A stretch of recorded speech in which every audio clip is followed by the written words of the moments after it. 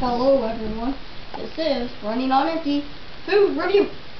Today I'm your host and I am going to um, review the McDonald's Shamrock Shake. Uh, it's very green as you can see. Well, let's try it. That's it? It?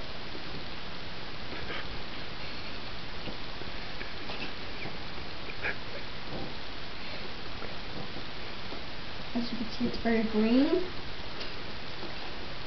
And tastes very minty and vanilla Vanilla? and it, you, there's several different varieties. You can get hot chocolate shamrock shake, you can get coffee shamrock shake, and you can get just ordinary shamrock Is that true? yes, I'm serious. Really? Yes.